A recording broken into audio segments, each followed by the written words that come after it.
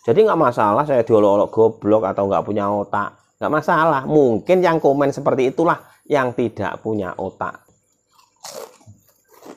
Nggak masalah. Hmm. Enak ternyata.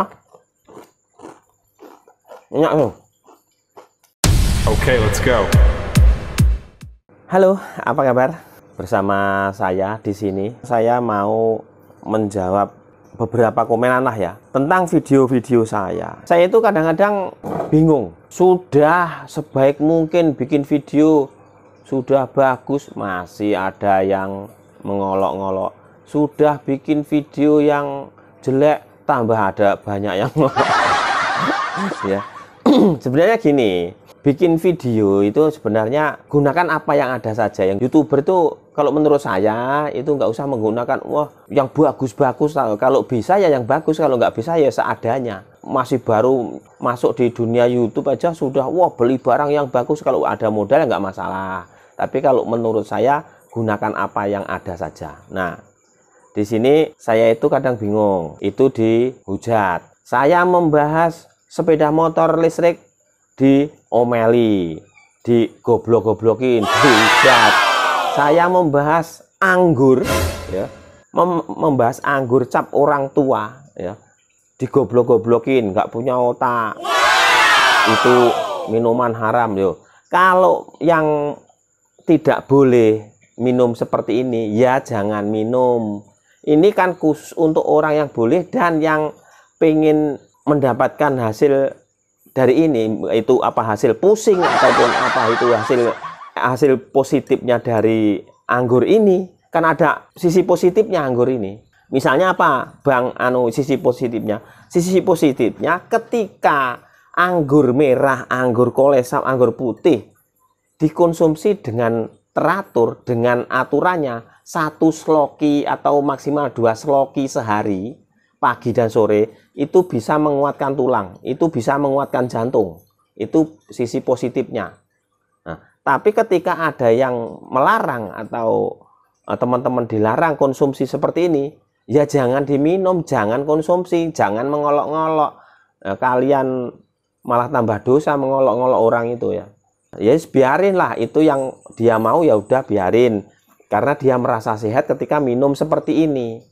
Itu loh. Dan menurut pakar kesehatan, memang anggur ini ada kesehatannya, ada unsur kesehatannya, yaitu tadi menguatkan tulang, tulang dan menyehatkan jantung, bisa menyehatkan jantung seperti itu ya. Itu dengan konsumsi yang tidak berlebihan.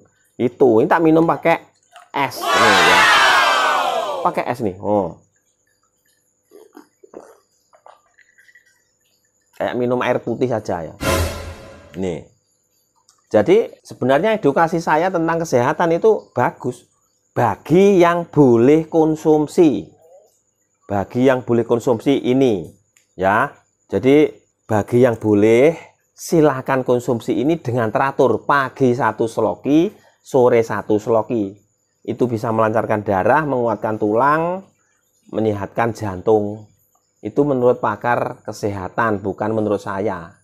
Kalau menurut saya, kalau sore konsumsi ini satu sloki ya mau tidur pagi itu memang bangunnya enak. Itu menurut saya.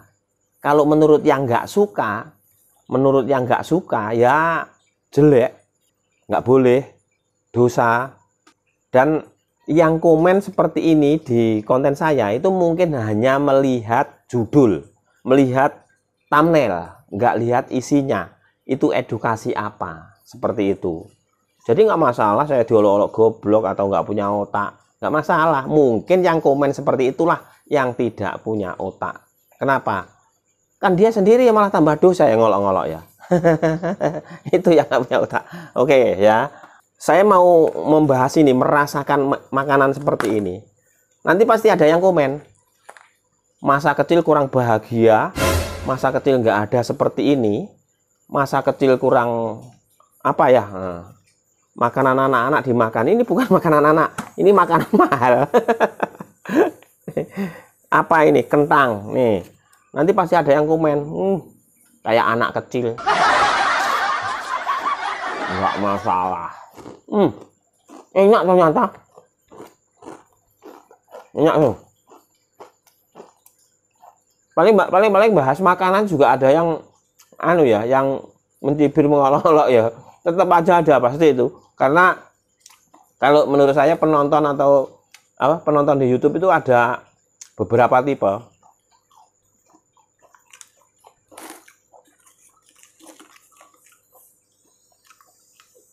Enak teman-teman. Ya. Apalagi pakai tambul. Nih. Anggur. ah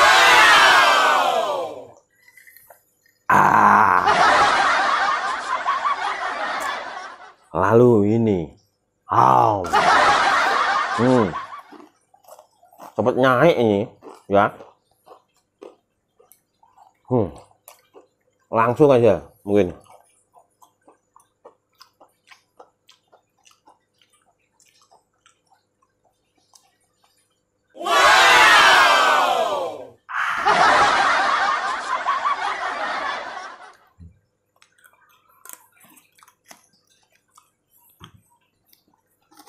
itu ya teman-teman ya.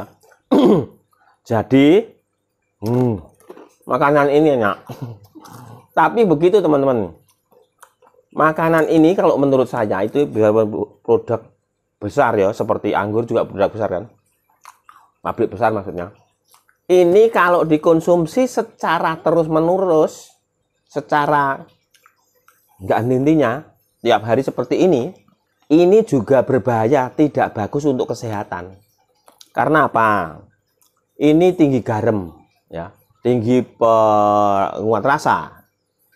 Ini bisa menyebab, menyebabkan obesitas. Ini kalau menurut saya, ya, karena tinggi garam. Hmm. Tapi kalau hanya makan sewaktu-waktu saja, nggak setiap hari, waktu-waktu tertentu saja, nggak masalah. Enak.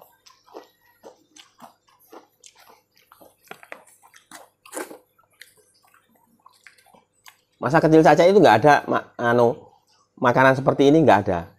Adanya bungkusan plastik kalau nggak itu ditusuk bambu itu loh. Kerupuk ditusuk bambu loh ya. Ada dulu. Ada yang mau? Nih Springless sour cream and onion. Hmm.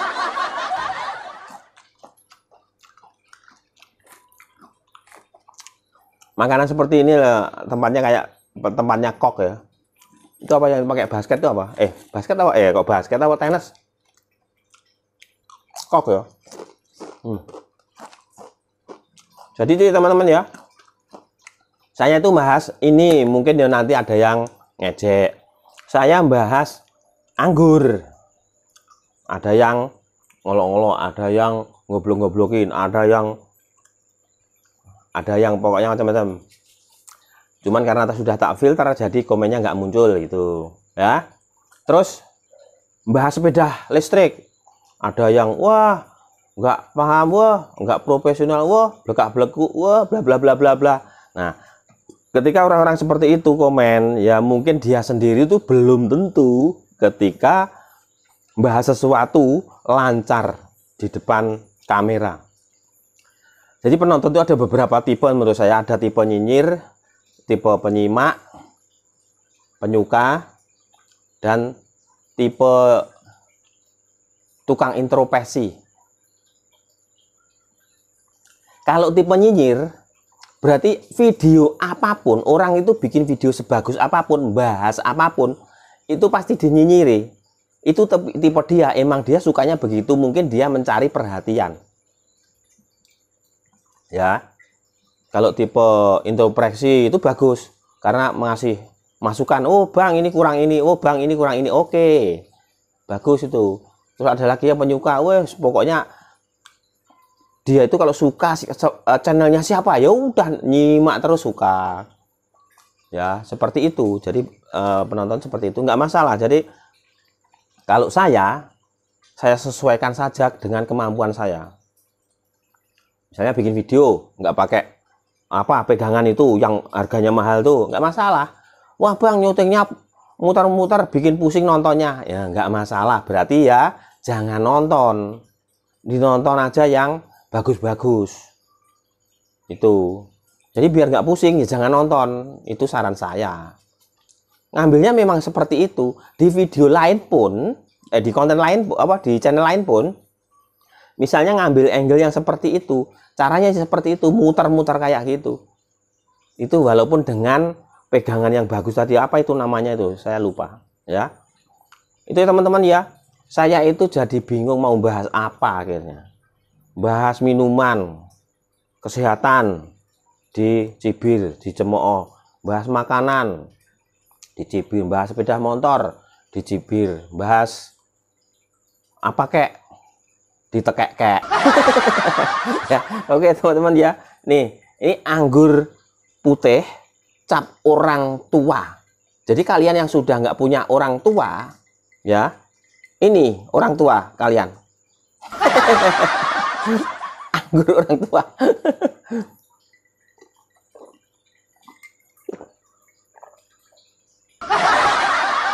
Mantap